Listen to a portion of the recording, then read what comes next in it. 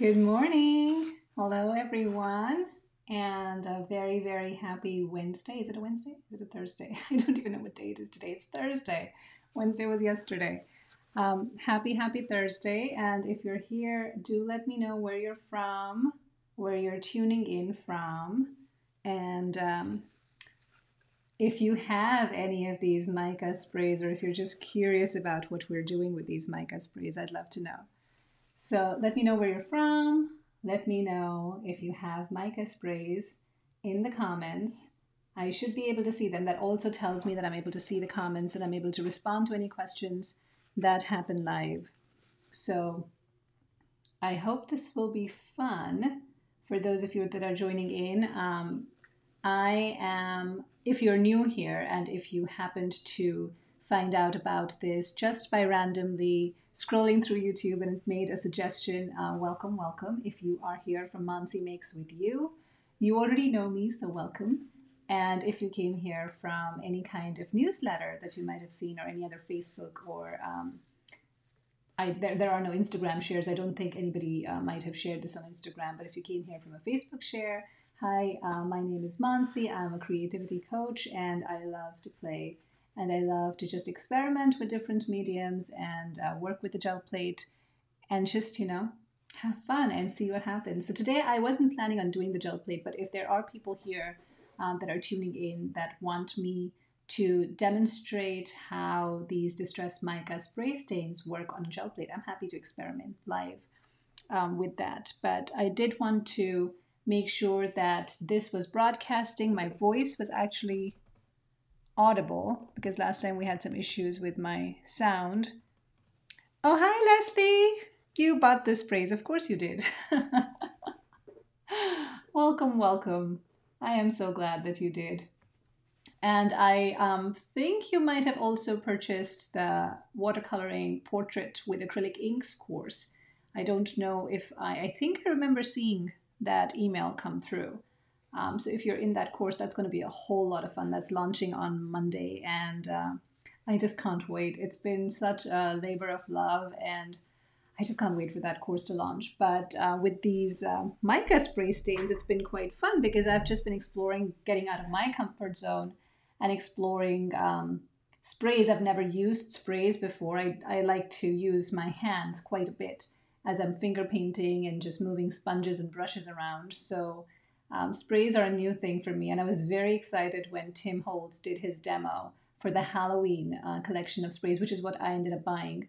Uh, despite saying I wouldn't buy anything new in for in the form of um, supplies, I ended up buying those sprays because they just he he makes everything go on my want list, and I have to be very careful about wants versus needs because as you can see I have a ton of stuff that I don't regularly use, and it's my vow to myself to use that, to empty those bottles of paint, to empty all of these. I mean, I have so many acrylics, I have alcohol inks, I have jacquard, uh, fabric paints, I have a lot of stuff in my stash. And we're not even going to get started on this side where I have all the stamps and dies that I don't use. So I really have to stop myself from buying new stuff. But at the same time, if there's something that is a limited time only deal, which is what these Halloween uh, Distress Mica spray stains were, the temptation was so strong I couldn't resist. And they just the the yellow especially is magical. It's just magical. So I had to get that. So I figured, you know, I'll, I'll make an exception for this. Hi Randy. Hi Marissa. What time zone is Portugal in right now? Where what what's the time in Lisbon? I probably should check on the world clock, but it's easier to ask you, Marissa, what time it is where you are. It's 11:04 for me here in the morning, and I'm in the Bay Area, and it's really nice and sunny here. The sky is blue, um, pleasant weather. It's been uh, kind of chilly in the evenings, so we do have a bit of fall creeping in. Hi, Lisa from Calgary. Um, welcome it's I love Calgary. The weather there is just beautiful, and you probably are seeing a lot more fall colors than we are here in the Bay Area in California. We have so many evergreens and beautiful redwoods, but I miss. Um, I used to be in Iowa. I, I did my master's in journalism from Iowa, and I miss the seasons. You could see the seasons as you were walking down the streets. I miss seeing that over here. So as people are tuning in, I'm going to start um, sharing the other camera let's see if I can make that one bigger and make myself smaller. There we go. So this is my collection, my entire collection of sprays. Oh, it's seven o'clock in the evening in Lisbon, same as London. Oh, good. Then um, you're going to go to bed happy. I hope you have sweet dreams about uh, distress mica stains and it gives you some ideas and the possibilities of what you can do with sprays and with stencils. And if nothing else, my hope is that even if you don't have, I'm not asking you to invest in these spray stains if you don't want to, but if um, you don't have spray stains, it's fine. You might still pick up ideas from this play. You, I'm just playing today, from this playtime today, that might, you know, work for your other projects, mixed media projects or journals or tags or what have you. So don't think of it as, you know, just because you don't have some spray stains, this doesn't apply to other things. So let me walk you through what I have. So this is from the collection, the Halloween collection of sprays. I'm trying to look for the orange. Is it this one? It's this one. So it's the bubbling cauldron, the flickering candle, the Distress Mica Stain Jack O' Lantern. So these three colors are just absolutely remarkable. And they're, they're fall colors. They really are fall colors. These speak to me a lot. I wish that Flickering Candle came in a bigger size and was a standalone item because that's the one, as you can see, I don't know if you can tell, but that's the one I've used up most. It's um, that's the one I'm using the most, and that's what I use the most in this book that I started I created because you know I was creating these backgrounds and I'm like I could turn this into a book. So that's what happened here. And then the other set for the Halloween that he showed us in a demo two weeks ago was this one. So this is Empty Tomb, Hocus Pocus, and Crooked Broomstick. So the Crooked Broomstick is more of a brown. Uh, Hocus Pocus is uh, purple, and then Empty Tomb is a black, but it's a black with a sheen. All of these have a sheen. Hi, Jane from Ithaca and um, all of these have a sheen so you won't see that's and that i find is the most intriguing the most beautiful thing about these is that you don't see the the sheen in the first instance but you see it when you tilt when it catches the light. What other stains do i have? I don't have any other um, so these are from the halloween collection. These the distress mica spray the brushed pewter the tarnished brass and the antiqued bronze. So the, the tarnished brass is more like a gold. These are, you can find these at any time of the year. Um, I like these for um, kind of like embellishing my gel plate prints. Like if you get even a brayer sheet and you add any one of these sprays, it elevates even the brayer sheet. So, and I'll show you, maybe I can do some, a bit of brayering too and show you what I mean, but it just adds this pop, this sparkle, and just elevates the colors in anything. So, which is why I have these three. Now, I have been teaching at Creative Escape in Los Gatos, which is an amazing mom and pop uh, local business, and um, it's it's risky to go there every week because every time I go, I end up buying something. Just for this demo, for the purpose of this demo, because I got so curious, people were asking me what is the difference between distress oxide sprays and Distress Mica spray stains. Now, I hadn't ever used these, so I couldn't speak to that. I don't know what the difference is. I mean, I could speak to that from watching Tim's videos, but I haven't, in my experience, used it, so I don't know to speak for me. Which is why I bought these. And I experimented with them just 20 minutes before this live, so I could get a sense for how these work. These are completely opaque, they have no sheen.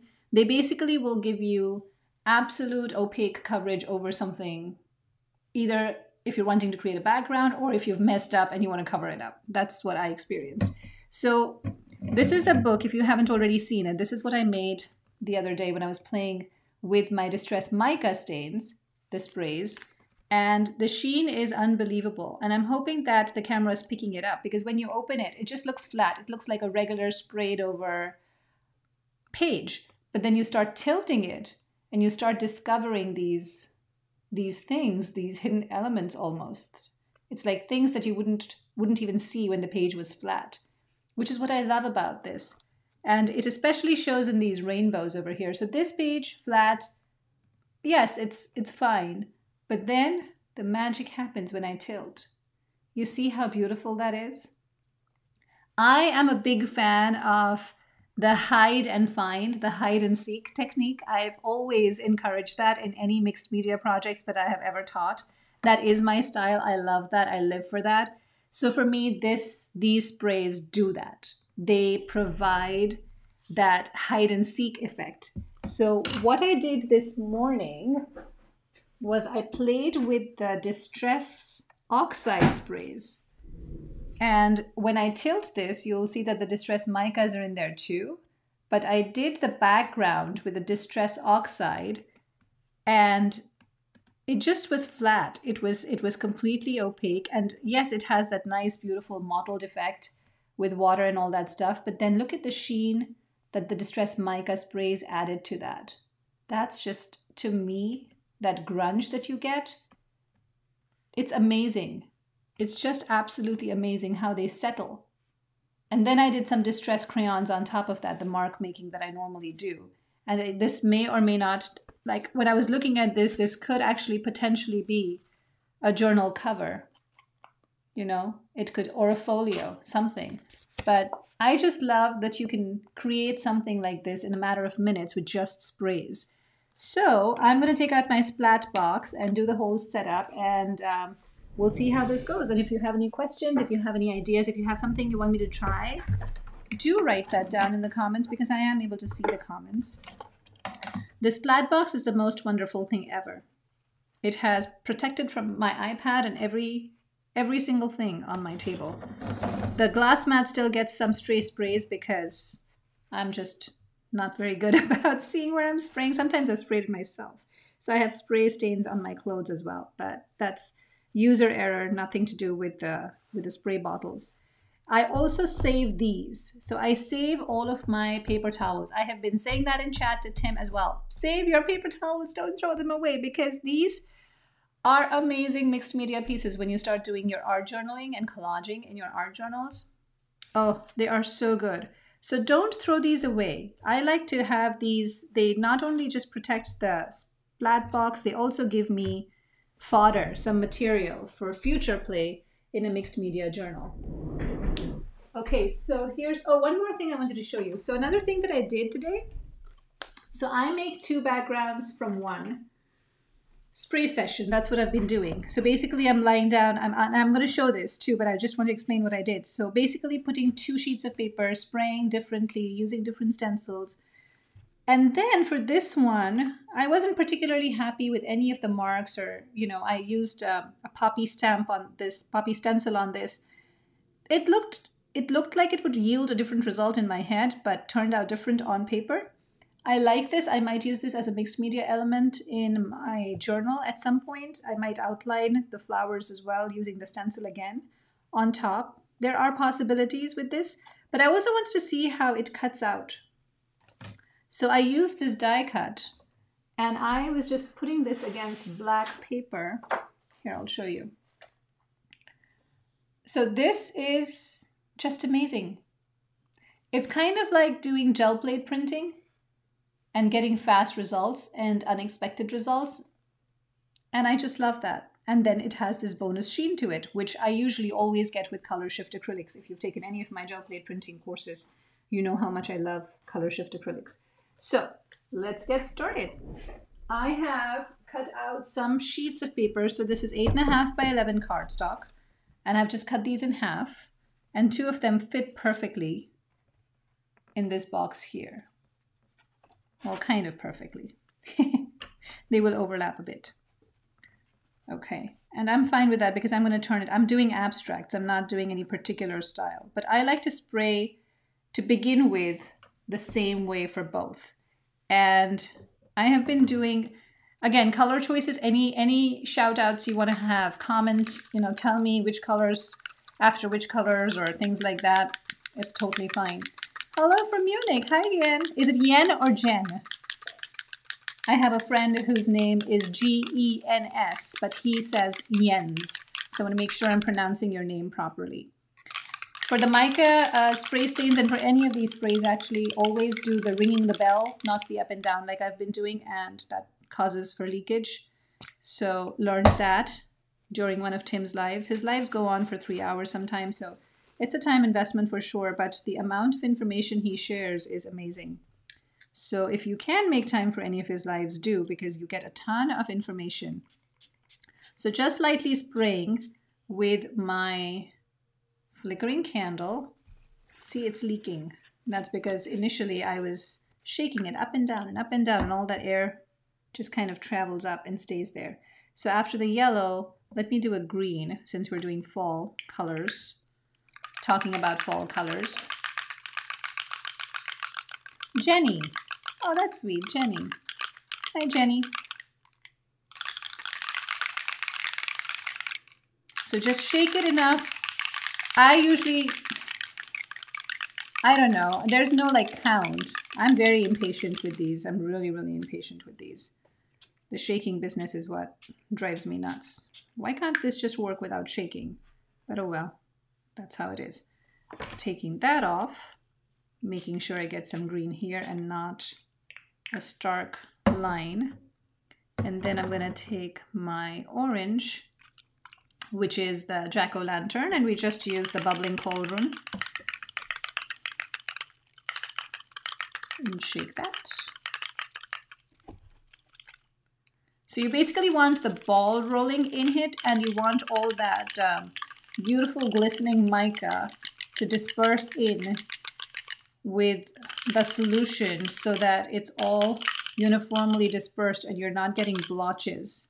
And it dries up right away. Ooh, I love that. That's fall right there. And then I'm going to do some more over here. In parts, I'm kind of making a vignette in this one. See, the closer you do it, if you don't do it from a distance, it's going to be blotchy and circles. If you do it from a distance, the spraying, it's going to be more even and more dispersed and more um, organic and less controlled. So just doing that, lifting it up and spraying it makes a difference in how it appears, right? And you can already see the shine. You can already see how beautiful this is. And now the magic happens when we bring in our stencils. So I'm going to leave this here. I'm going to bring in a stencil. This is a jelly Art stencil that I absolutely love. It's one of my favorite stencils. And I'm just going to place this stencil on top. It fits this sheet of paper almost perfectly, right? Now it's not going to lie down flat because of how not careful I am or how careless I am with storing my stencils properly. But I'm okay with that. You probably have flatter stencils than mine. And I'm going to take some purple and I'm also going to take some, well, maybe I should stick with the warm colors. So maybe I'll do some tarnished brass and maybe I'll do some bronze with this. And then I'll go back with some yellow. But essentially going to mix my colors up a bit. And what happens is when you're adding your sprays on to the stencils, a lot, you'll notice that a lot of your spray is going to stay on the stencil, which is what was driving me nuts, that it stays on the stencil. And then it feels like you're wasting it. And I'm not going to put my stencil in a, in a water tank to wash it off because I don't clean anything. And again, if you followed me for any length of time, you know that I don't clean anything at all, except my fingers from time to time. Okay, so I have these two. And then I want to just do a little bit more of the green. And I don't know what I'm doing here. There's no method to my madness. I'm just kind of guessing what's going to appear under. I'm not entirely sure. But therein lies the beauty of play, right? Just here and there, little spritzes. Now I'm to not lift my stencil up quite yet. I'm to take this other sheet that I made I'm to stick it on top. I'm to press it down just like I would on a gel plate, but firmer. I'm just picking up all the spray that was on that stencil. And the effect on both of these papers from laying down that one stencil and spraying that one time is going to be completely different. Here's this one. So you see how it lifted the inks, the sprays, the mica off of that And it just has this beautiful texture because it's not a continuous stream of anything. It's just picking it up. So it already looks like it's textured without using any texture paste. And I just absolutely adore that effect. And then we take this one off. And we've got kind of a mottled effect. It's a very soft, ethereal look. And what did that take? All of three minutes for two backgrounds? Now you can keep building on this, obviously, or you can leave it be. I love to build on things. So you can see these side by side, how different they look. It's just amazing to me. This is almost like gel plate printing and lifting a ghost print. That's how I relate to this. And it's just amazing that it does that. So now if you wanted to add some more color to this, and you wanted to go the oxide route, if you have the oxides, you could use another stencil and you could place it in parts and just play with that. Now, if I were to use the wild honey over here, and I'm going to do some mark making. I'm going to do some mixed media here too, because that is what I do. I don't just do sprays. Sprays are um, a starting point for me. They are not the end point. So I am going to build on this and I'm going to show you what I'm going to do after I've done the sprays. Now again, there's a lot of spray on there, which I can quickly get off over here. Again, my motto of not wasting anything and saving everything. So you see you get that beautiful layer of the excess over there. The background shows through. In this one, it's the opposite. And so on and so forth. You can keep continuing to do that, keep continuing to build on it. Now we have some crackling campfire, which will also look really pretty with these colors. Again, these need a really, really good shake. So take about 20 seconds, 20 to 25 seconds to keep doing this. And if you're playing along with me and you want to share what you made today after this live, definitely go to the Facebook group Mansi Makes with you and share your makes. I would love to see what you produced because I'm sure what you make is going to be very different, as it always is, even when we play with the same supplies, because you are doing you and you have different stencils than I have. The order of colors you chose is going to be different. So I absolutely love the diversity that our playtime brings to the table. So here we have this one getting built a different way than this one while using the same stencils and the same colors. I just think that's just amazing. It just blows my mind that you can do this stuff with sprays. I mean, I'm just spraying. It's it's insane. I'm to use some purple because I feel like it needs some darkness around the edges maybe. And for this, I'm going to use another stencil I love, which is this one. Let me just bring it over. I just love this stencil. I think this is Woven Loom by Catherine Kohler. And the first two that I used were both from Jelly Arts.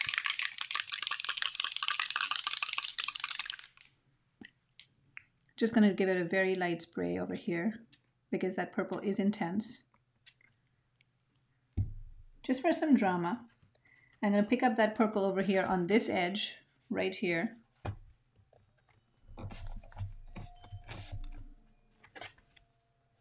Just to get that pattern over there. So you see how it's becoming something, something really cool. And if I tilt it, you can see that the, the, the stains under shine through.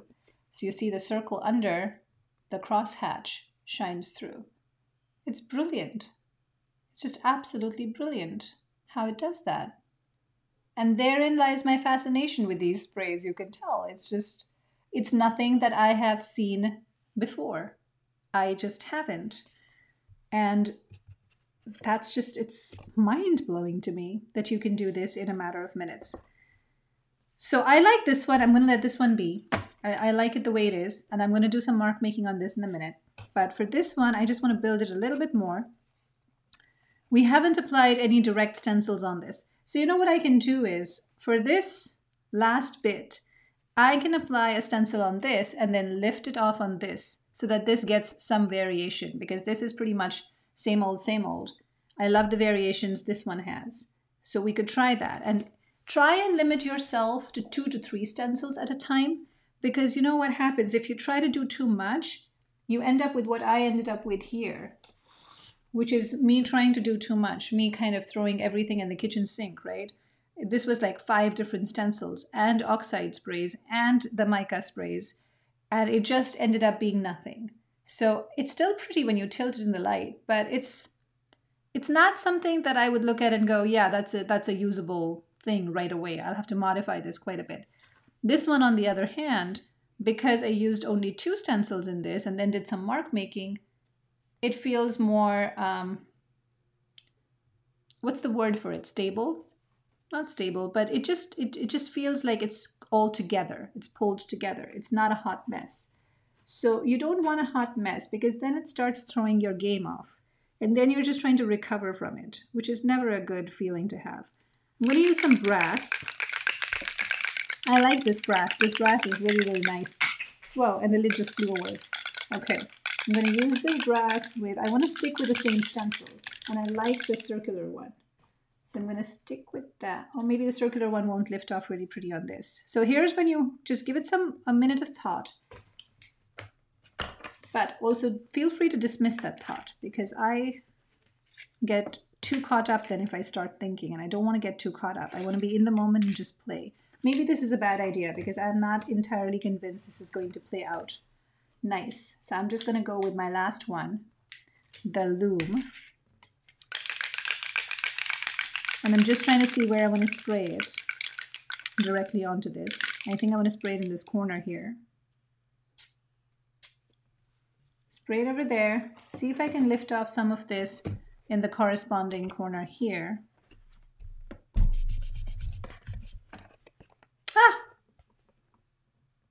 Just added some texture right there. So cool. And then what did it do for this? It didn't do much at first glance, but then when you tilt it, you see a little bit of it.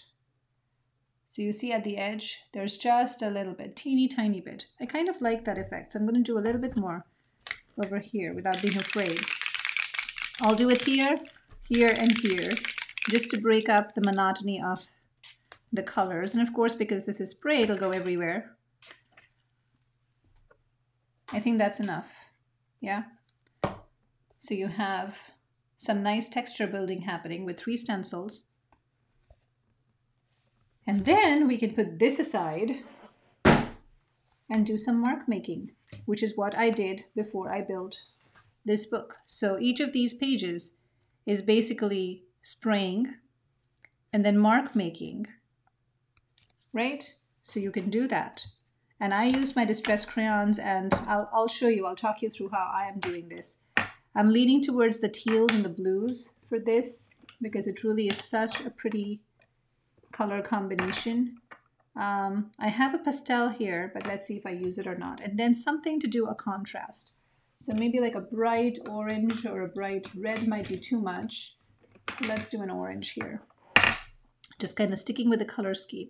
And for mark making, my marks are usually very, very simple. So I'll just go in and start doing mark making. And my principle there is pick a color, pick a shape. Use that color to make that shape. Really, that's all there is. Pick a color, pick a shape. Use that one color and that one shape, always together. Right, so now we've established we're doing rectangles with the teal. So with the distress crayon, you can go in and you can decide you want to do something else. So maybe you make some X's. Or maybe not, maybe you just smudge it and you just introduce some color in some parts. And again, don't overthink any of this. Don't think about any of this. Just kind of be in the moment and see what happens. If it becomes too symmetrical, break it up. If you like symmetry, don't break it up. You know, do what brings you joy. Don't go by what I'm doing because I honestly don't know what I'm doing. I have absolutely no idea what I'm doing. I'm just playing. I'm just playing and seeing what happens. So I see some areas where I feel like I could introduce a color.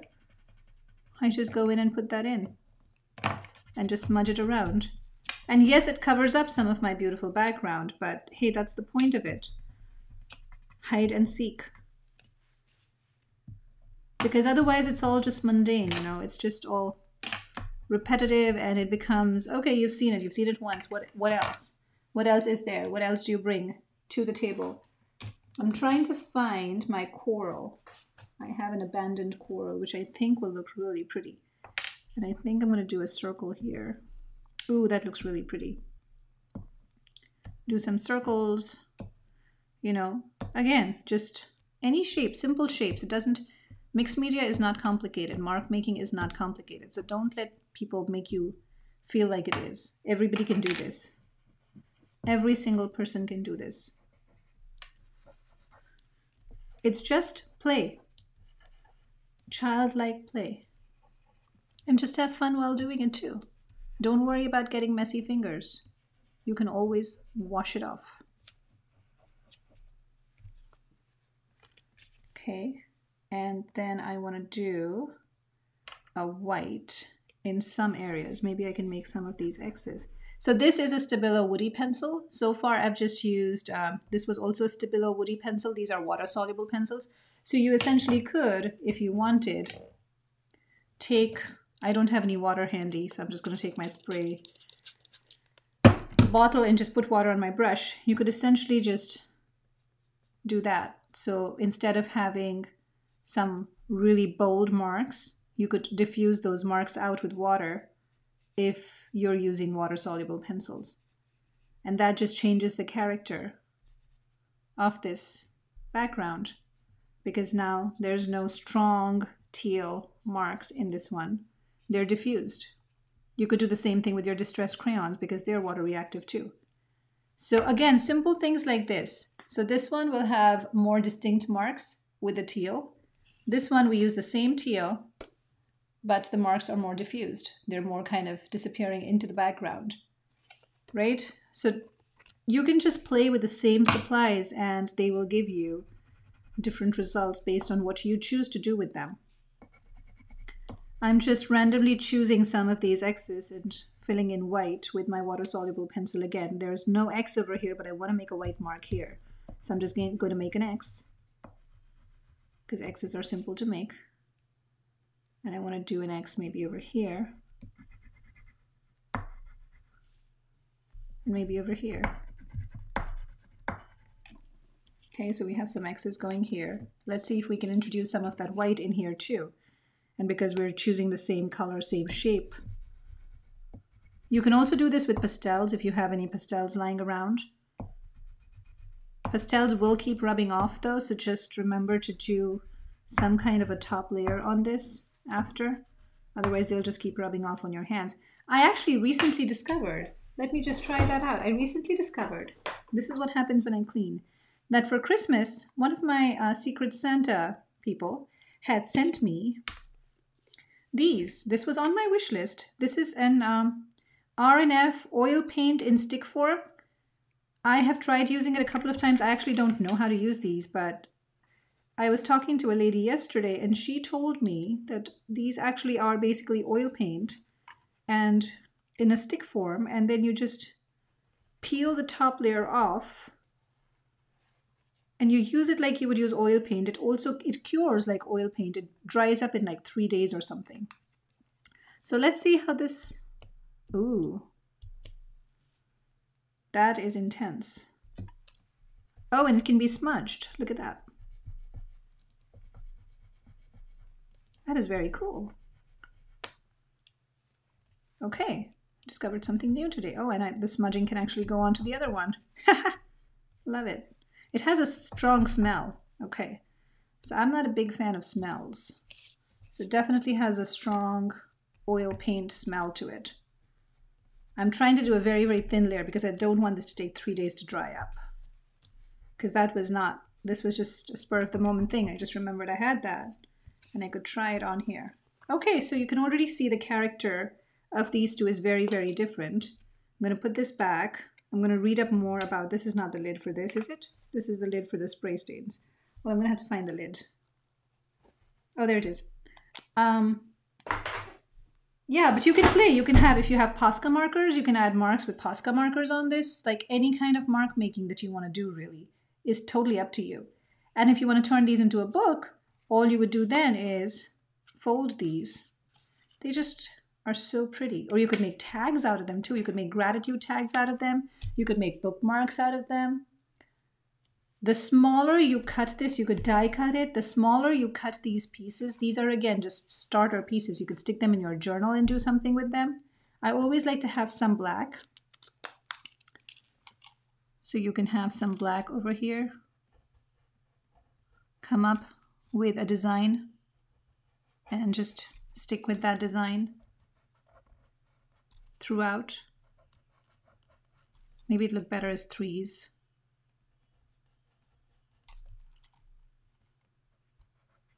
I'm just using a Sharpie, good old Sharpie. So what happens is when you cut this up into smaller bits, it takes on a whole new life. It doesn't look like it does right now. It becomes something different. And I, in, I would encourage you to try that. Cut it up. Don't feel like this is something so precious that you've made because really it only took you three minutes to make one. So, and you actually made two backgrounds in a very, very short amount of time. So don't hold on to it as being too precious. Cut it up because then you see new things emerge and then you keep building on those new things that emerge. So here, let me show you an example of what I mean. So last week when I was making these backgrounds, I started cutting them up. So these are going to be dresses for my, my paper dolls. But you see, when you cut it up, all you're seeing is just this. And now you can build on that.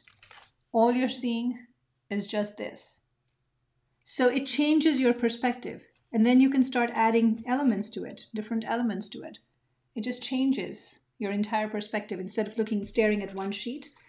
So I think it might be dry enough for us to try out some cutting and seeing what happens. Let me see if I have my punchers around. Okay, so this is going to be a bit tricky because this is not entirely dry. I'm hoping it won't get stuck. I'm just going to cut out a shape with my scissors and show you what I mean. I'm going to trim this first, so I'm going to get my trimmer. Do not be afraid to cut up your backgrounds. And let's see, if I wanted to make this a bookmark and I wanted my oh. bookmark to be 2 by, how much is this? 4.25 by 5.5. So, okay. So I wanted my bookmark to be this size. Maybe some of you are going to be getting bookmarks from me in the mail.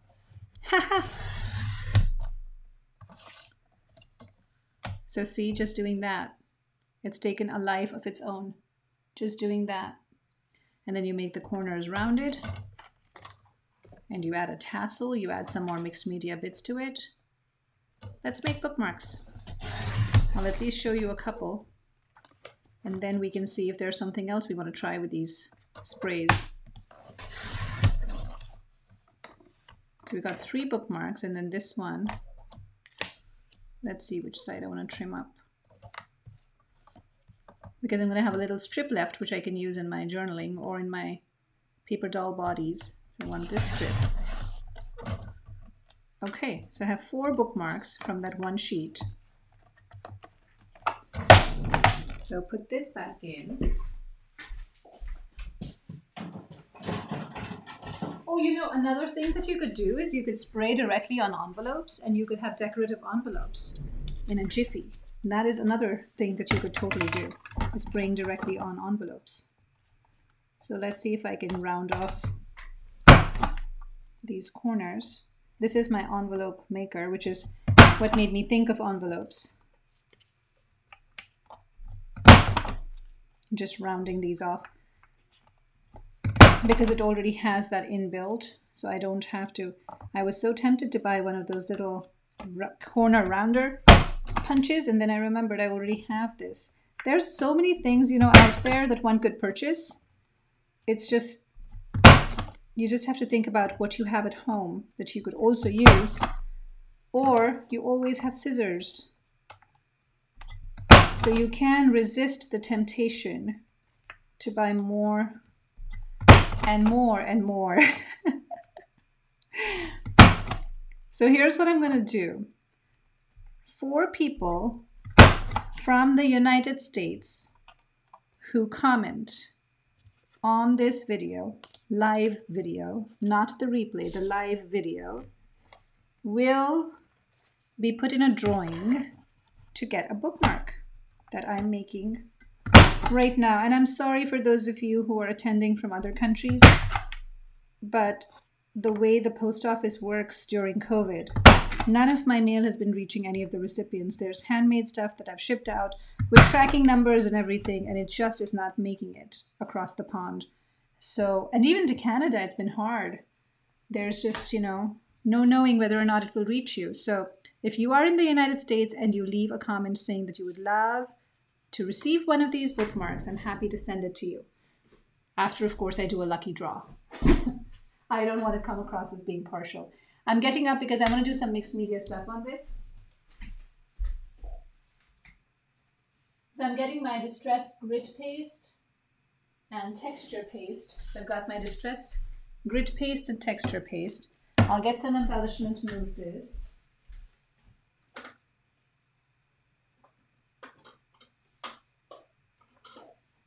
So you get to see this in action. Oh, look at all these people. You're all here. I love your bookmarks, but not as much as your portraits. Oh, thank you. Yes, the portraits are fun. I could actually make portraits. Hey, you know what? okay, Jane, you got your wish. Let me make a portrait on this. Why not? So I'm going to take my Derwent Inktense pencils and I'll still use my grit paste and all of that stuff. That was a fantastic idea. Let's do it. Let's make portraits. Let's make powerful women on here that will remind us of certain things and then I can just stick on some words. So if we're making a face, let's see. Okay, so I'm just going to make a face over here. This is going to be my face right there. So my eyes are going to go here. Oh, this is so spur of the moment. I just love that this just is something that's just happening. I love that. In the moment.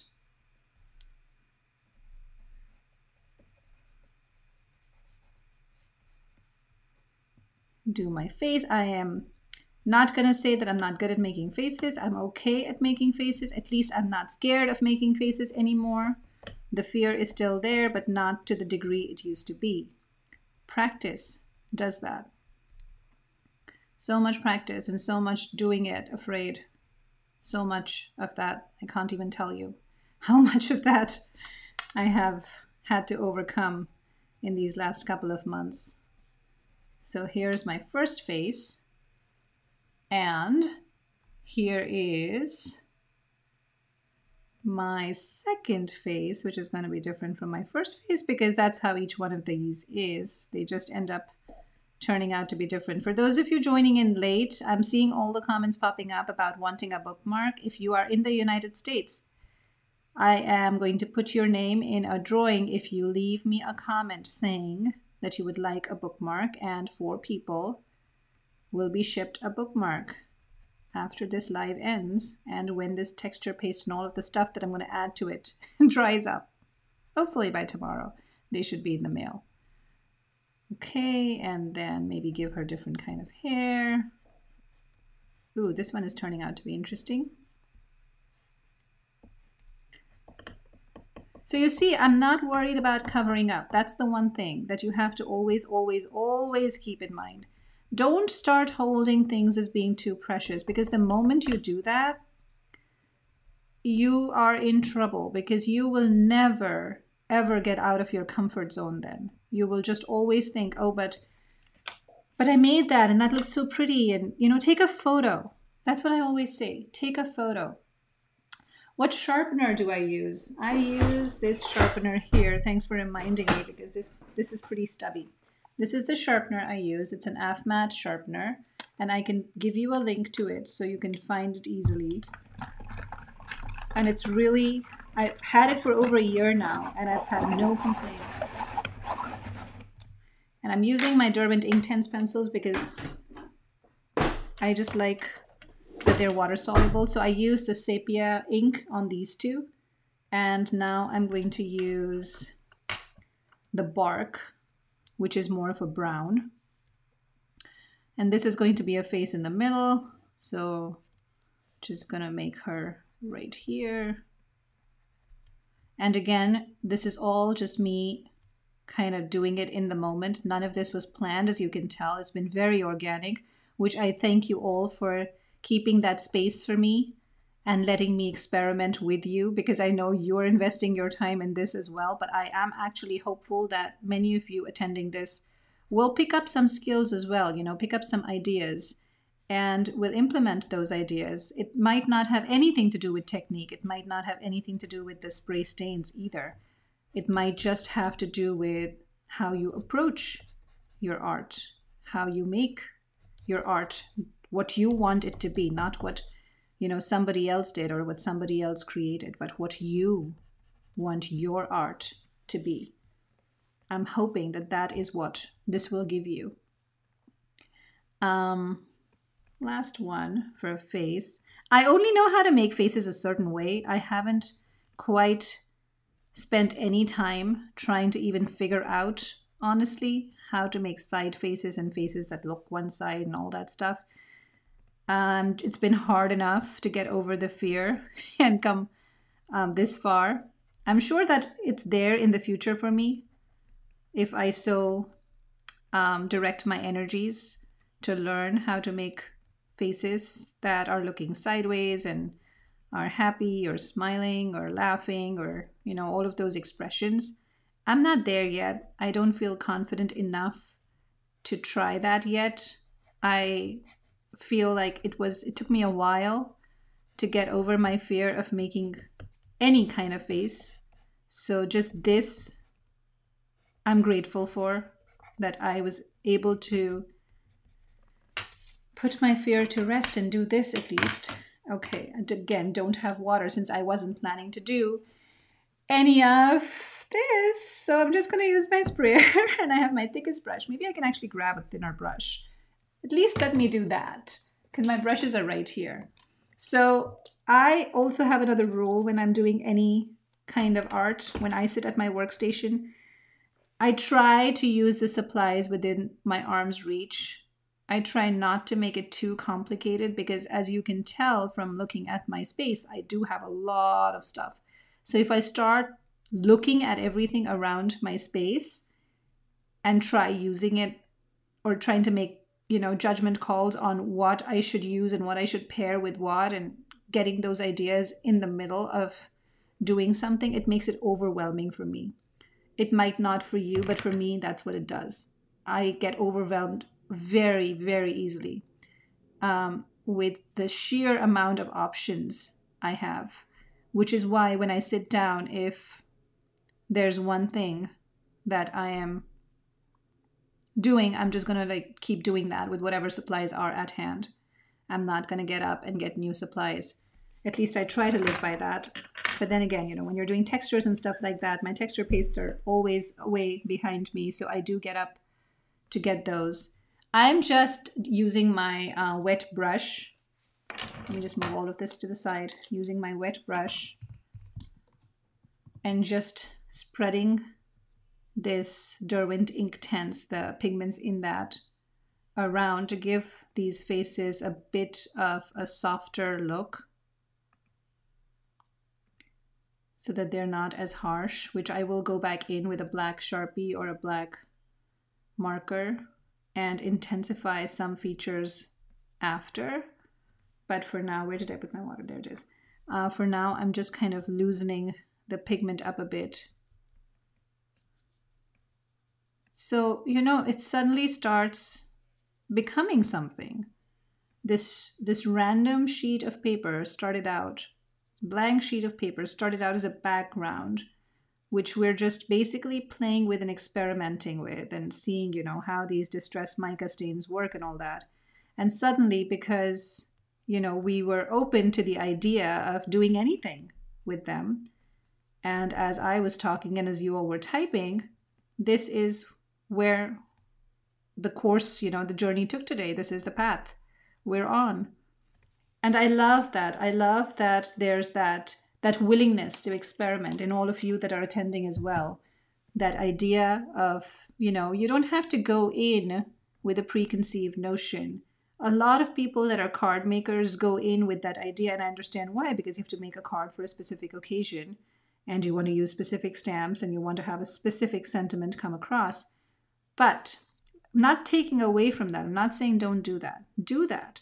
But also explore doing this because when you allow yourself to be free and not have any of those agendas, not be making anything for anyone, but doing it for you, the energy is different, the vibe is different, what you will create will be very different. So just keep that in mind, you know, anytime you're creating something. Now, this, of course, is my aquarelle white. I'm just adding that in because I want the face to feel a bit separated out from the background. Otherwise, everything looks the same, the same, the same. And it's a very, very simple technique of just using white. And then, of course, I'll go in and darken the features in a minute, but it just separates out your face. And I could use my pastels. I could, you know, bring out my Jane Davenport birthday suit pastels and uh, use those, the powders, the... Actually, I can take them out without getting up from here. So let me show you what those do. I mean, why not? So here these are. So I'll have you compare this face to another face that I do with the pastels. So for the pastels, you're basically just taking one of these dual-ended brushes and you're just kind of going to go in and start smearing that around like you would be applying color to the face or makeup. You know, just kind of um, making that background not completely disappear, but become really, really light. So your face looks really different. And if your face becomes too dark and you're like, wait, it just is becoming this brown mess, just go in with some white. It always becomes a mess when I start using these because, again, you know, it's a different medium altogether. And now you're really truly mixing all your mediums up because you have your spray, your mica under this and you have a water soluble pencil. I used a bit of oxide spray, I remember using that. So you see the difference? It's pretty apparent, right? So if you want that very subtle look, then use your soluble pencils. If you want something more pronounced and more like a real face, then use your pastels. Now, what if you've used your pastels and you really don't like the look? Happens all the time. Don't trash stuff if that happens. See how the face changes when you add your distinct lines with your marker and then make any more decisions. Don't immediately start thinking, oh, this is rubbish. Oh, what did I do? I ruined it. This is going straight to the trash can that kind of talk does you no good because that kind of talk is not helping you build confidence. It's not it's it's shutting things out. It does you absolutely no good. So try to stay away from that kind of talk. Think more like okay i don't like that. What else could i do to change it up? And you know as soon as you start being open to that ideas come to you. Inspiration comes knocking when she knows that you're ready for her. If she knows you're going to be dismissive, she's not going to come. She's going to go to someone else. I read that in a book. That's not something I made up. But it stayed with me, and I think it's true. I think it's a lot of uh, voo-voo, but I mean, look at that. It just completely transforms, right? You just use a black Sharpie and things start changing. I love that. Don't give up. Don't don't decide. Just like that, don't decide that what you did is not good enough or what you did sucks or, you know, we are so good at being our own worst critics and we're so good at just dismissing our own efforts and our own I'll say talent A lot of people hesitate saying the word talent. All of us are talented. We are all born talented. We are all born artists, you know. Every single kid knows how to play, knows how to make art, knows how to create. As we grow older, we lose it because we get also hung up on, oh, this is the way it should be. This is the way how I'm supposed to do it. This is the way I should do it because this is the way everybody else is doing it, or whatever the reasons are, you know. We get hung up on that. And then we start judging ourselves through a lens that is not of our own making. I want you to break that. Break that cycle, you know. I drew her face, then softened the lines with water, then sharpened the lines again. What was the reason? The reason was to get to know her. The reason was to understand if that face was speaking to me. I there's no technique reason for it.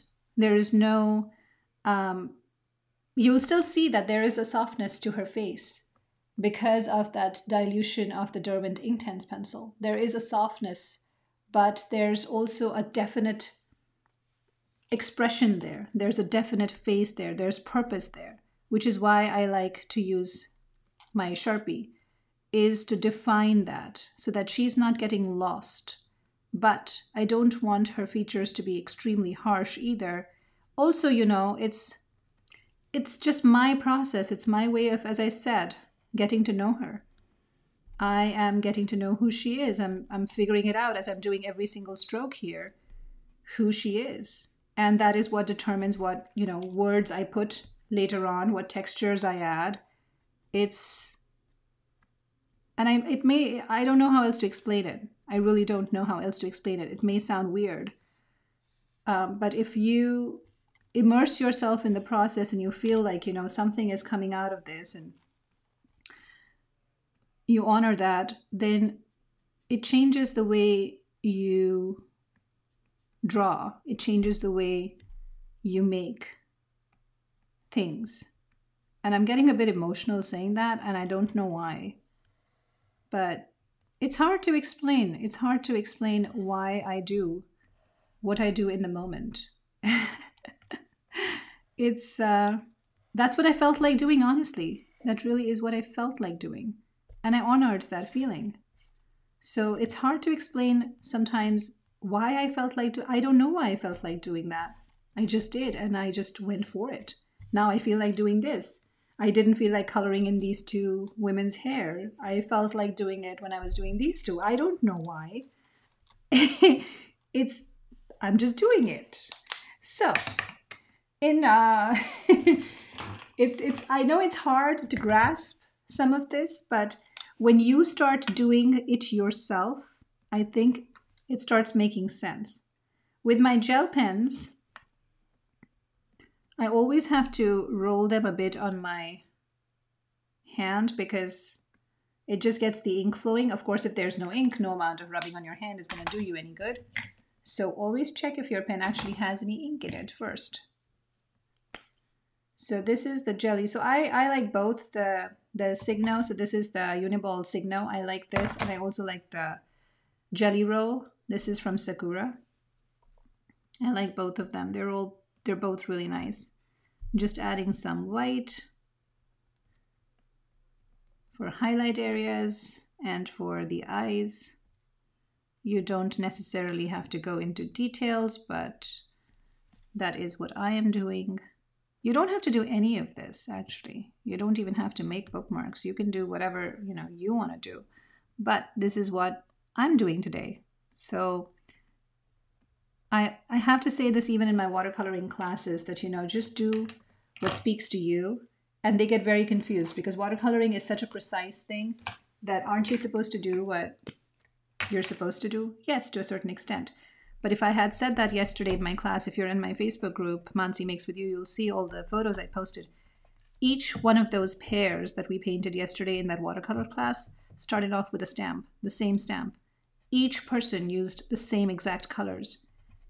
But I didn't tell them to use the same exact colors in the same exact order. I didn't tell them to use the colors in exactly that much quantity. I said, do you, you know, figure out what color feels right to you. Yes, we're using the same six colors, but the end result, if you go see those photographs, each one is a very unique expression of who that person is. We did watercoloring. They learned all the techniques that watercoloring, you know, they were they were supposed they were there to learn. But each one of them made something that was so different. That to me is where the magic is is finding that ability to not follow things exactly as you're being told but listening to your heart and deciding is that what i really want to do? Yes she's doing it and it looks great or she's doing it and i don't like it. Whatever that feeling is but she's doing it being the key thing what do you want to do how do you want to express your inner artist I have this for some reason lying over here, my Pentel Oil Pastel. So I feel like it's asking me to not ignore it. So I'm just going to use it. Must have been from something I was doing earlier, but since it's just staring at me, I'm just going to use it. Okay, these two I think I want her to have. And again, this is all willy-nilly. I'm just making sure that I go in and I give the hair something, some color some movement. And it also kind of separates the women from the background when you do that. And I'm not reaching out for too much stuff. Also, my finger, it has like a mix of all of these colors by the time I've reached back over here again, which is fine. I'm not cleaning my fingers in between. I'm just kind of going with the flow, being really loose about this. And then I'm going to go in with my dark cocoa dark chocolate. That's what this is. And just add a little bit more of that shadow area over here to further define the face. Some shadow under the chin where the neck is. Do the same thing for this one. So you can actually, you know, batch process these too. How did this become a bookmark portrait making session? I don't know, but we were talking about this. We were talking about something like this, and suddenly we're with bookmarks. That thought just arose in my head again. It's like it's so amazing that you allow me to do that.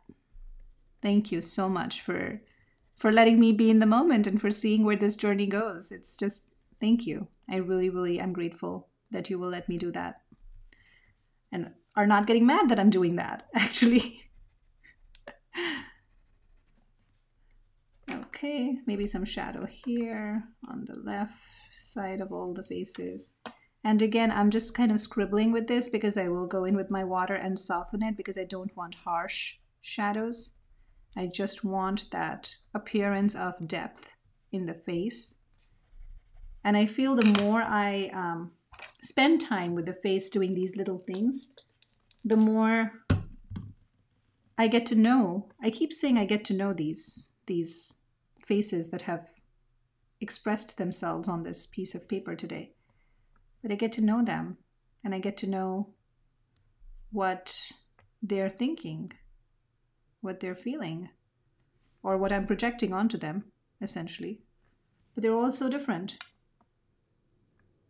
it's just amazing to me. And my my watercolor portraits class that is launching on Monday. It's the registration's open if any of you want to go look at that. I know some of you have already signed up, and thank you for signing up if you already have. But you'll hear me say the same thing in that class as well, because that journey, oh, that journey was amazing. It was just um,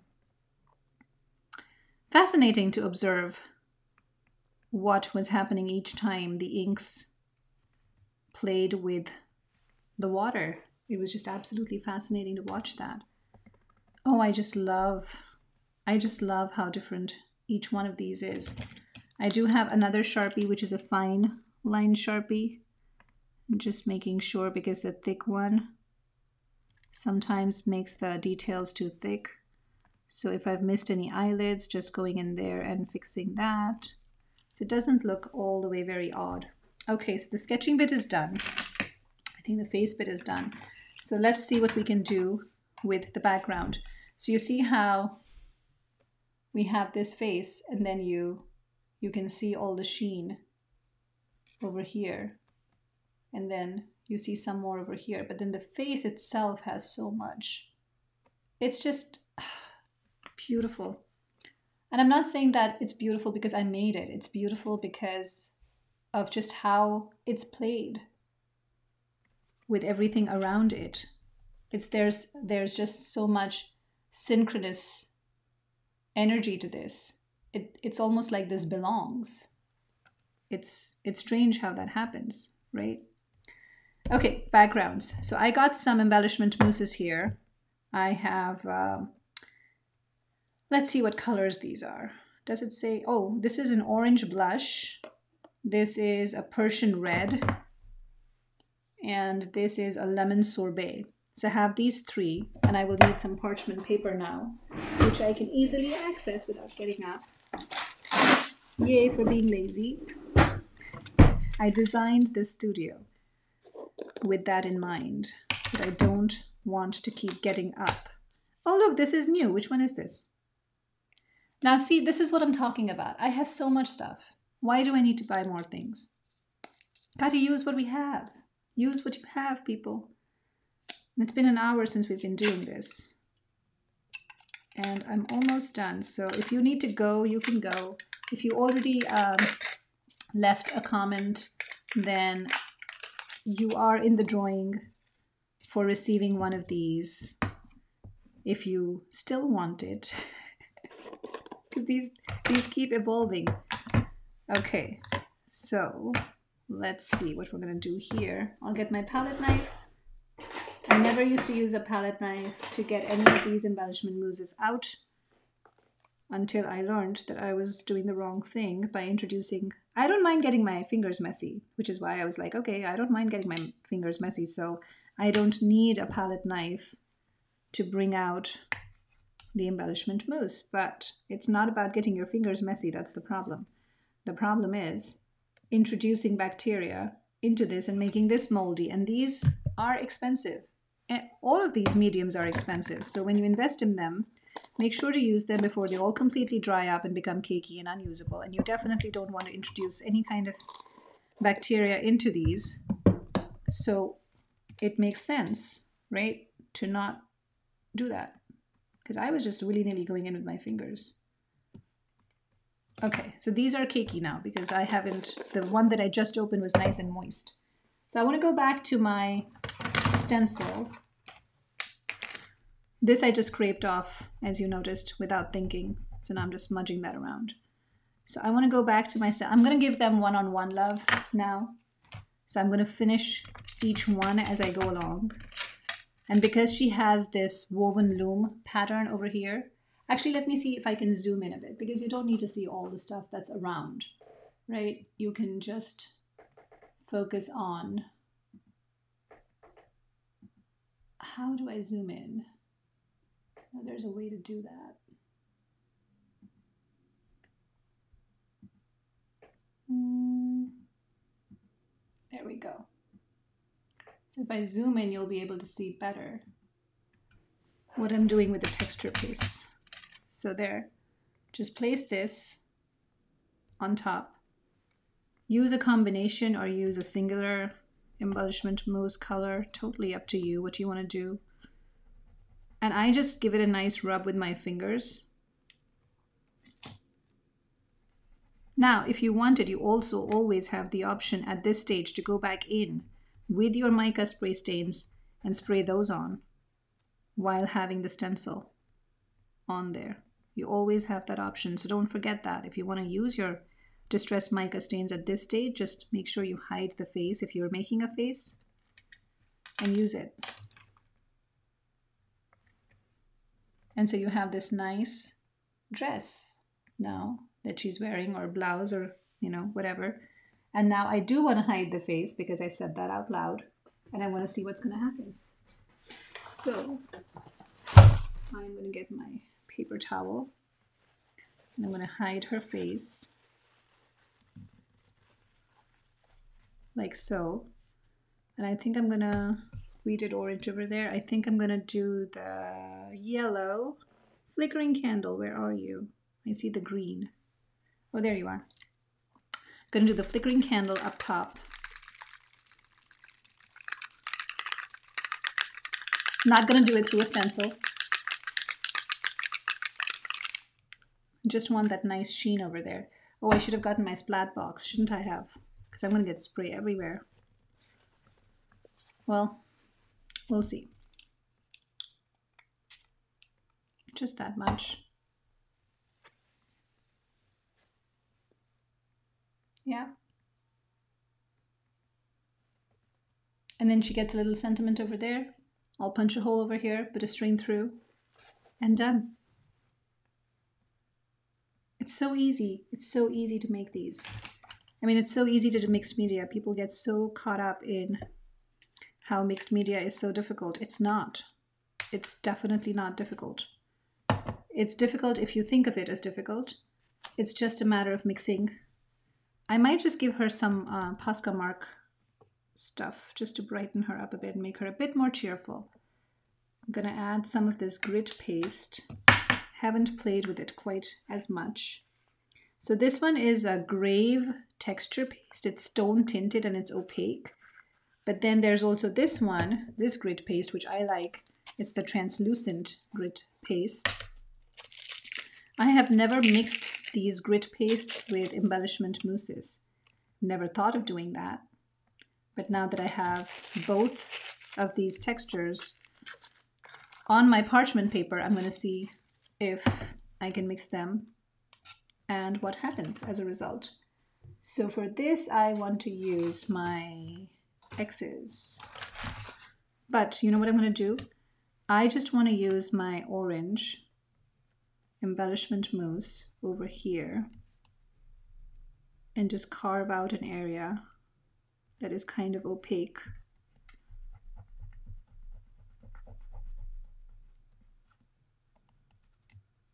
And a lot of people have told me this is not how you should be using them. This is how you should be using them, like having gloved fingers or using a paper towel. So basically doing something like this. Here's what I say to them. I say thank you for telling me how you would use them, but this is my preferred way of using it. So again, the whole you should, you shouldn't kind of thing. If that rule doesn't work for you, you don't have to follow that rule.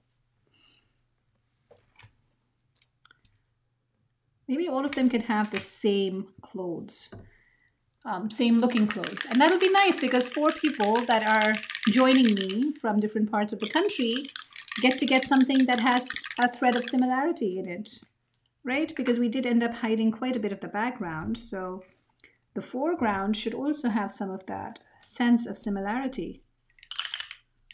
And just again, using the spray, keeping the stencil on top seeing what that does. No idea what these sprays will do on the mica stain. I do not want to let that go waste. I still have this background sitting here.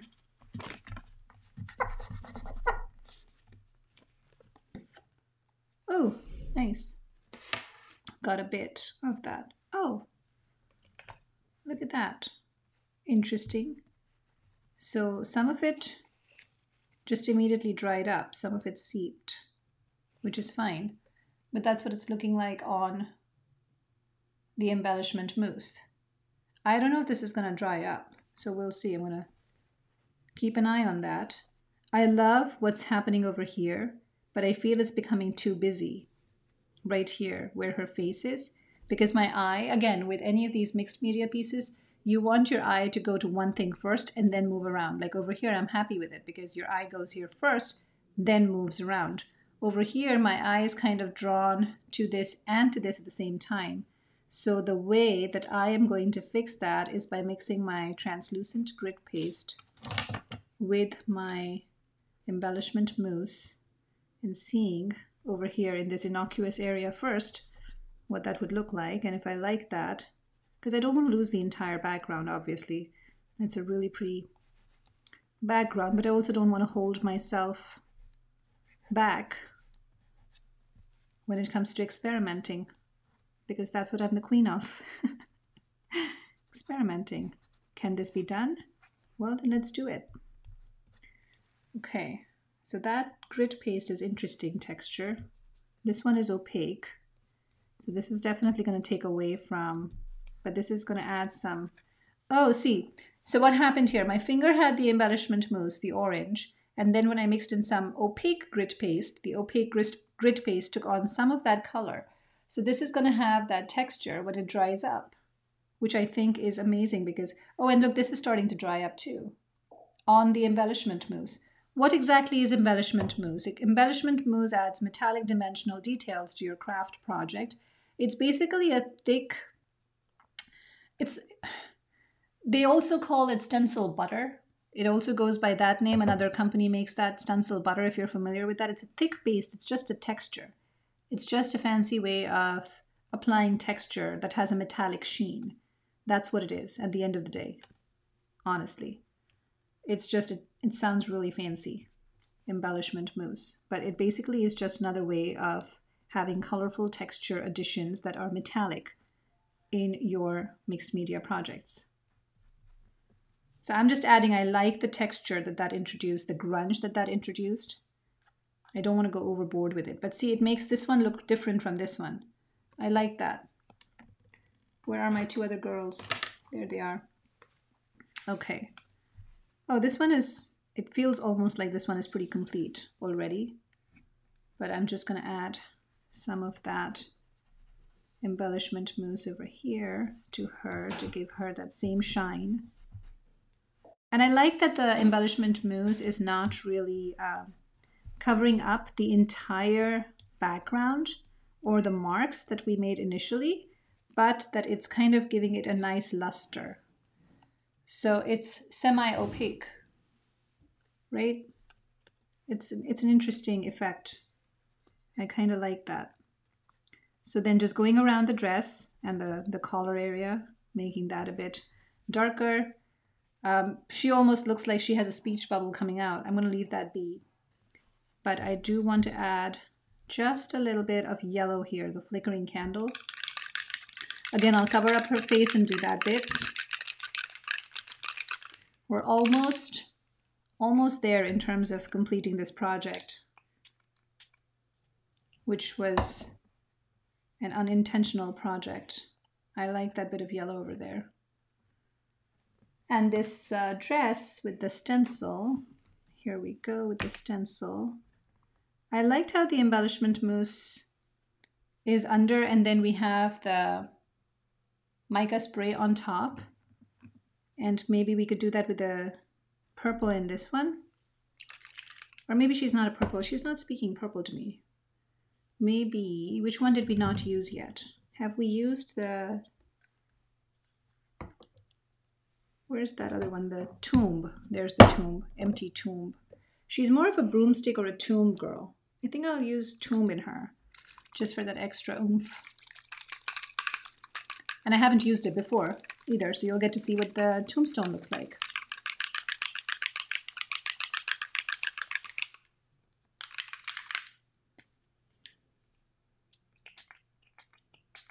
Oh, that's intense.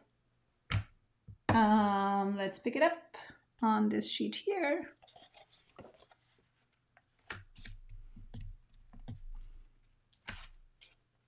This is turning out to be its own thing, this whole sheet. I don't know what I'm going to do with it. Probably turn it into something too, but it's really cool. It's, it's fascinating how fast the mica stains dry up even on top of the embellishment mousse. And it introduces again that feeling of rust. It's just it's it's interesting. It's just a very different effect. This one is very very busy, so everything she's kind of um, blending into the background. So I'm just gonna fix that a bit. She's really not separated from the background, but I also don't want her to have like a a white ghostly look to her. So I'm just using my Stabilo pencils here. So, you know, play with your mediums and don't worry about what works together, what doesn't work together. Don't get too caught up in all of that because you can pretty much make anything work together if you want it to work together. And you don't have to stop yourself from trying out. Maybe you don't know how it's going to work. Try it out and then you will know how it's going to work, right? Okay, that's a bit better in terms of her face being a little bit separate from the background. So just a little bit of white, pink, and brown there.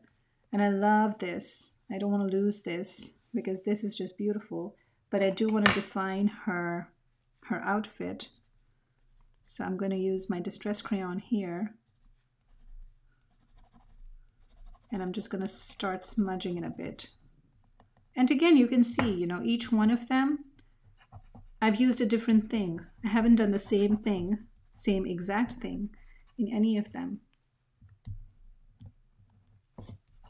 But I've used the same supplies. To see how you have that sense of she has a dress on and or a blouse on, separates her face from the background. The background is still intact. Didn't use any fancy stuff yet on this one. And when I say fancy stuff, I mean grit paste and all of that embellishment mousse. Just, just kind of dabbing it on, you know, willy-nilly. Okay. Maybe I can do some of this on the edges over here too. I think that'll be cool. You know, the real reason I'm doing this is to clean my finger, right? Half the time. That's how my mark making happens is when I have remnant texture on my fingers or something I'm just trying to clean off. Just being honest, that's I don't think about mark making intentionally. Most times it's just cleaning my fingers. You're past the point of shock with me if you've been with me. You know I do stuff like that. So I don't expect any raised eyebrows. Okay, I'm gonna let these be. All right, now for some final embellishing with my, which I have to get up for because I keep them over there. I can actually roll over there, but I have lots of stuff on the ground are my glitter drops and my gold pen. And some of these might not even come out because, again, not using them when I should be using all of these supplies that I have. Okay, so I've got two gold pens here and I've got liquid pearls and I've got Nuvo drops. So this is just to kind of take it up a notch wrong thing. First, let's do the dots. I like adding dots to everything. Sometimes they come out, sometimes they don't. So that's why I pick up two. Well, this one's not coming out, so it's not going to get any gold today, I guess. Let's see if this one comes out. There we go. So just going to add, whoops, and this frequently happens too. So if something just blurts out like that, spread it, make the best of it, set that aside. Maybe she's to get some pearls. Looks like she wanted pearls more than the other one did. There we go. She's got pearls. And this one can get some pearls in or strands in her hair.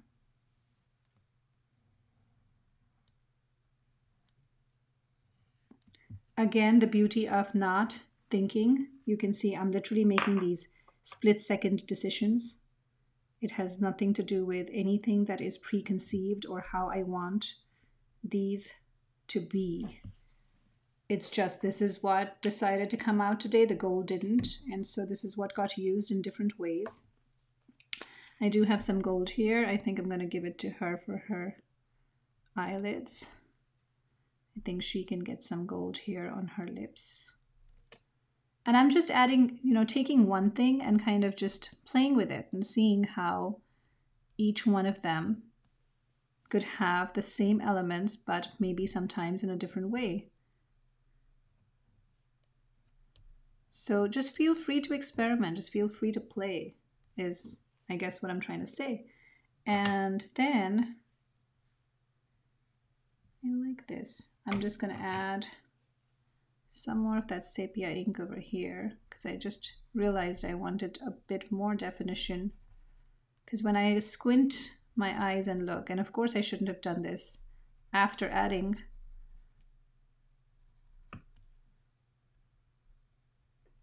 the Nuvo drop here, but oh well, afterthought. Okay, all right. This looks good. Maybe make her smile a bit. None of them are smiling. Make them a bit happy, happy looking. Okay, last bit is adding words. I like adding words to all of these and also I have to punch them. So let me see if I can get my Crop-A-Dile here. And let's punch them uh, this way. So I am not familiar with this as much as I should be, which is why you see me fumbling here a bit. Okay, there we go. Punched. Might not be in the center. If it's off-centered, I hope it's okay. Trying to eyeball it. Not the best at punching holes. Ack, they're all going to be off-centered. I'm sorry. My sense of centering is wrong. Well, this one is probably centered. oh, the joys of doing things live and fast. Um, let's see. I think this is centered. Okay. Two of them are centered, two of them are off-centered. But I hope you won't mind that. And then for words, I usually have this tray here and what I do in this tray is I type out some words and I'll put them in, or I'll find something in a magazine and I'll cut it out and then I'll just add that. So it makes my life easy. It makes it organic in the moment because I'm not going around looking for a word I want to specifically add to any of them. It's whatever's in the moment feels right with the face and the vibe that I'm getting from that particular face that's what goes on there. So we'll see. Um, I like the charm. There's also, yeah, it's mine. Do not. I don't like the negative in that. Do not. Show your colors. I like the show your colors. Let's do show your colors. So I'm just going to cut this so that it's in two lines. And then I'm going to smudge some of these uh, Nuvo drops. I'm pretty sure of that. So they might not look like pearls by the time they end up with you guys. But you'll know that I intended pearls, right? okay, so take some of this glue show your charm. No, show your charm doesn't work. Show your. And sometimes, you know, when you stick your words on or your phrase on, you will maybe end up adding some other elements just to unify the theme. I'm not saying I'm going to do that. I'm just saying that that's a possibility that you shouldn't discount.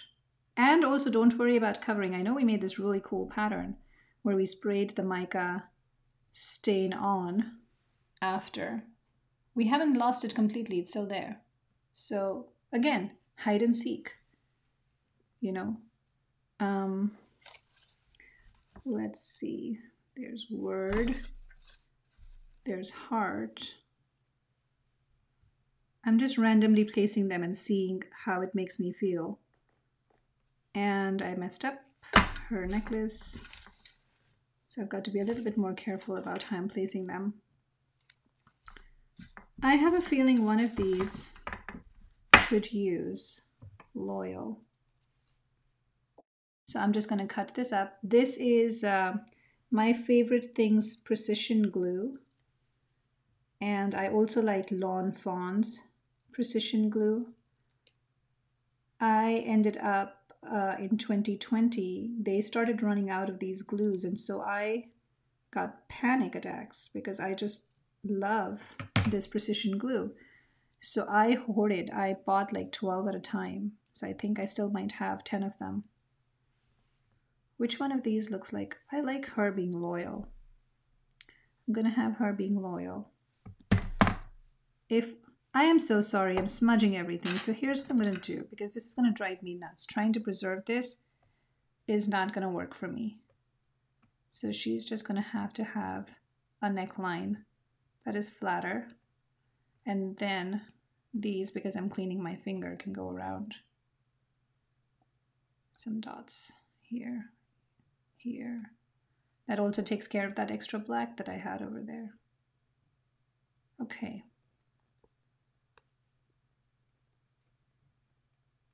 There, they almost look like bouquet. There you go. All right, now that I'm really clumsy with my hands, uh, where does the loyal go? There it is, I think, yeah. Okay, so we'll take this and half of my, um, that's what happens in my art journal too. Because I'm so clumsy, you know, things just happen. And I like to call it serendipity. It's meant to happen. That way I'm not going to fight it. There, she's loyal. She has show your colors. Let's see what else we can find. In my stash here, I liked Charm. I really like Charm for her. But I'm wondering if... Oh, Luminous. Luminous. Let's do Luminous. That's a fun one. Luminous. Such a nice word. To say someone is luminous says a lot about them. Oh, the other side said art. Ack. Should get tweezers. Okay, luminous. I want the texture to stay. So I'm going to put my luminous right here. Right under where that texture is kind of peeking through.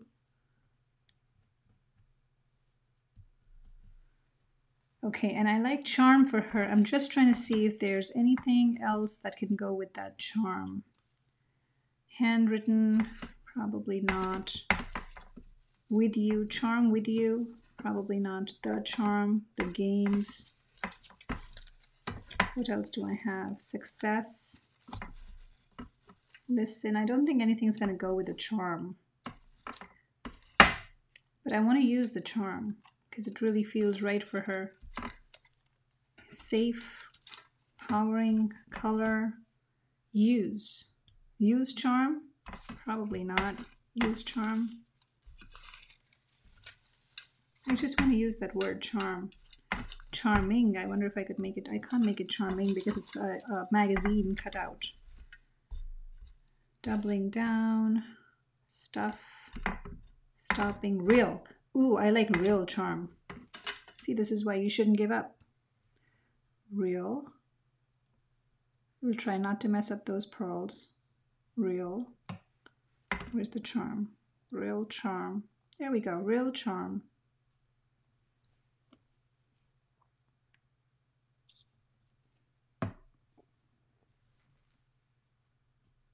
Okay, real.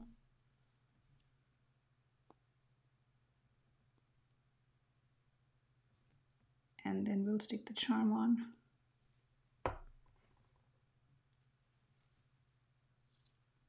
Real charm.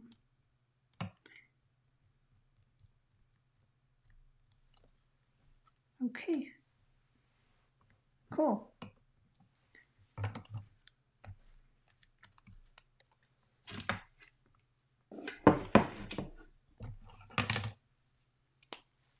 Got my gold pen here for a reason. I just like adding little things, little details with my gold pen after I do the last, absolute last thing.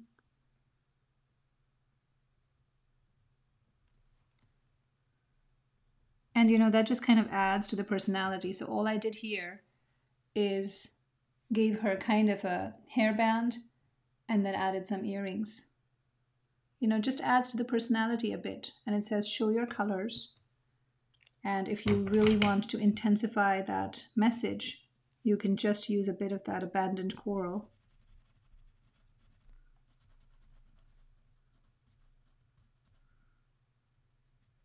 And make like a darker area right there. And so it emphasizes show your colors. So it's little, little things like that, you know, that make a difference. So I'm calling this one complete. So the only thing that needs to go on here is a tassel. So I'm going to get one of the tassels.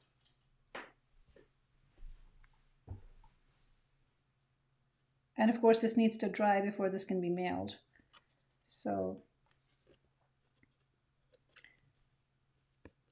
here we go.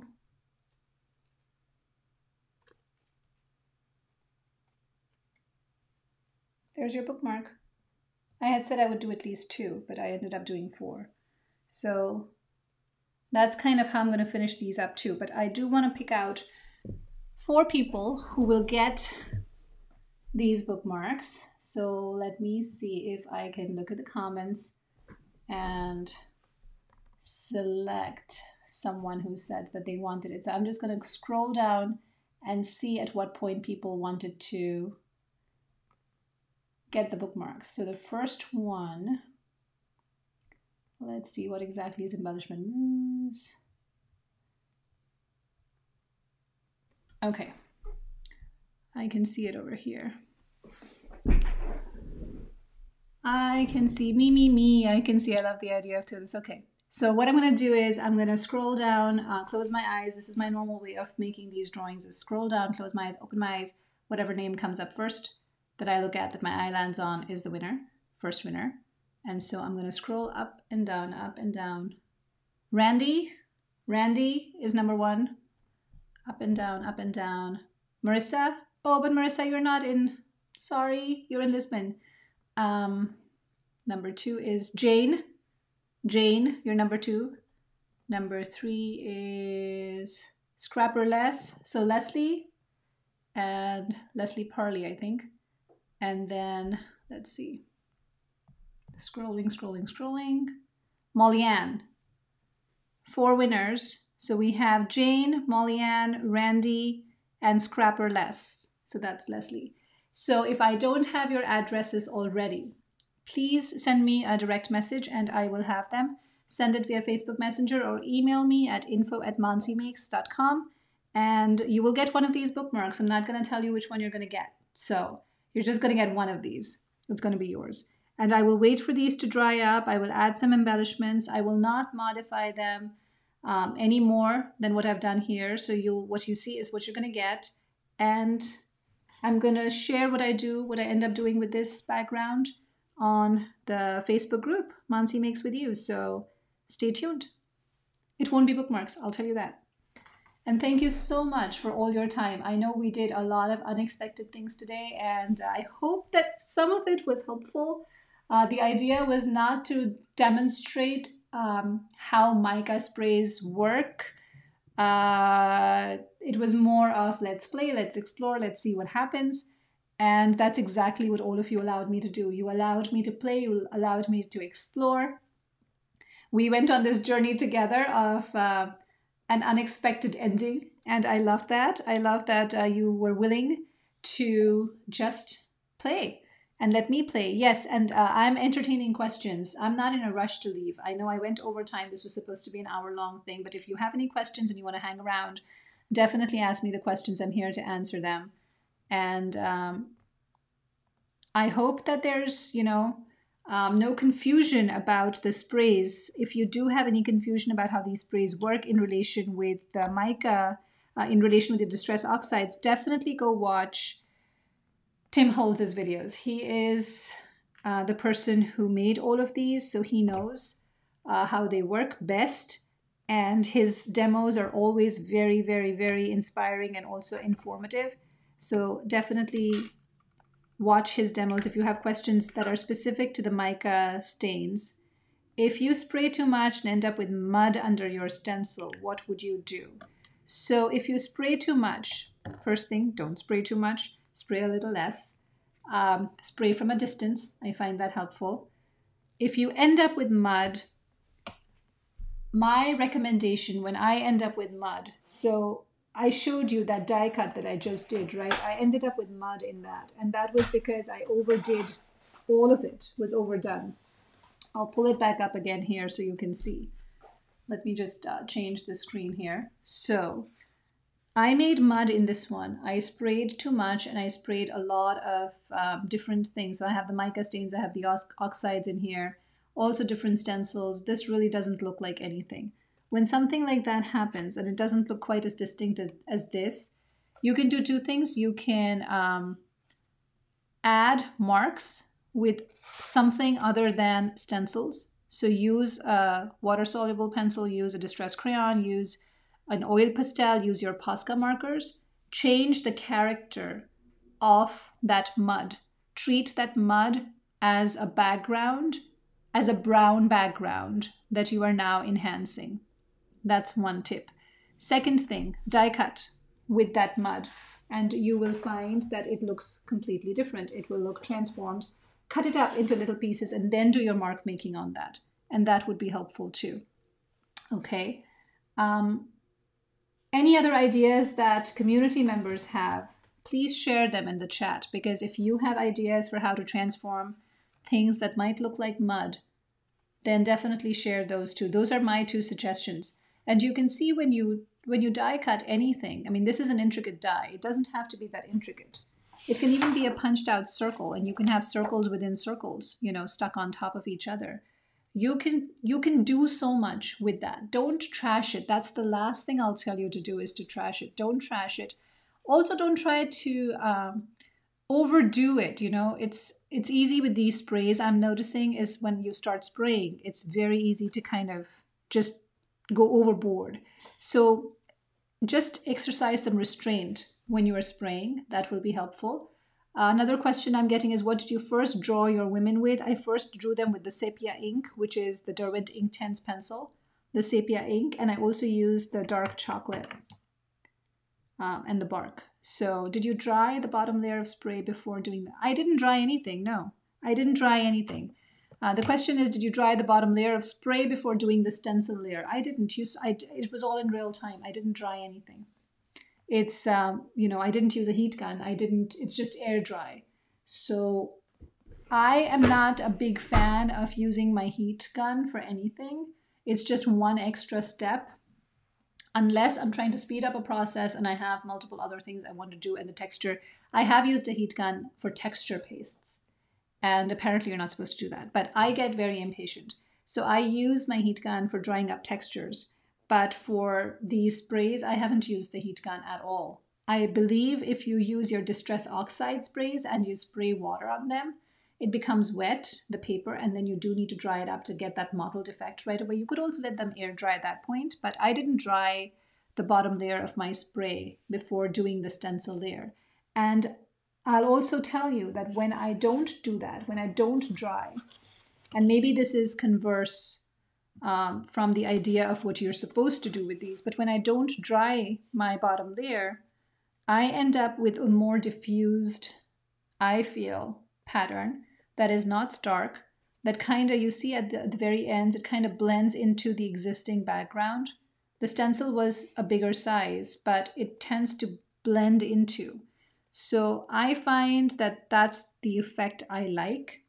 Also, I am not a big advocate of using the heat gun unless I need to move on to step two and step three, and I can't. This for me is not about precision, it's about playing. So for me, having a dry paper before doing the stencil layer is not important at all. It's just to create grunge and a background that looks complex. So that's why I don't wait for the paper to dry or for that first layer to dry up. I'm just going to scroll through and see, and I should make a note of who won because if you don't email me, I won't know how to follow up with you. So I'm just going to use my pencil here and write the names down. I know it was Randy, it was Leslie, and it was Molly-Ann, and I think it was Jane, right? I think those were the names. So if you don't reach out to me on Facebook Messenger or via my email, info at mansimakes.com, I'm going to hound you because I'm going to send you these bookmarks because you made me make them. um, just scrolling through the comments to see if there's any other question. There's no other question. And of course, if you played along with me, you were not just listening to me blab and actually played, created something, anything, doesn't have to do with distress spray stains, but since you spent so much time listening to me, if there's anything you created and would like to share, please do that. Uh, the group is Mansi Makes With You. It's on Facebook. Most of you are already members, but if you're not, just go to Facebook, look for Mansi Makes With You, and join the group. It's a very happy, very helpful community of creatives, and I love how kind and generous people are in sharing not just their feedback, but also encouraging each other and sharing new ideas, which is always, it's just, it makes my heart happy that you all have made this community so, so beautiful. Um, I wish somebody would teach about die cutting. What's an inexpensive machine, for instance, and how and when you would want to do what um, to die cut. So, Jane, I don't know if you're a card maker, but Jennifer McGuire has a lot of videos on die cutting. Look her up on YouTube. She goes into details about the different die cutting machines there are, why um, she prefers some over others, how they differ. There are some that are um, electronic, there are some that are manual, and she goes over that and uh, all of that stuff too. So, have a look at that if you have something specific about um, which I use the big shot, which die cut machine you want to invest in. I use the big shot, so that's what I have. My video feels like it just froze on um, YouTube, but I can see myself live here. So I think nobody else has any questions. I see people dropping out. I am so, so thankful for your attention, your time, and just for giving me the space to play today. I really, really appreciate it. And I hope to see some of your creations over at Mansi Makes with you. And if you haven't signed up for the watercoloring with portraits class, it launches on Monday. There is a discount code right now for early bird registrants, which is available on Mansi Makes with You. So if you're part of the group, you know the discount code. And I'd love to see some of you take that class as well. It's a lot more of what we just did here, um, but it's about exploring with acrylic inks and just letting loose a bit more, a bit more than what we just did today. So I hope you have a wonderful weekend and I will see you soon in another, in another free demo or in a class that you might want to take with me in the future. Have a wonderful weekend.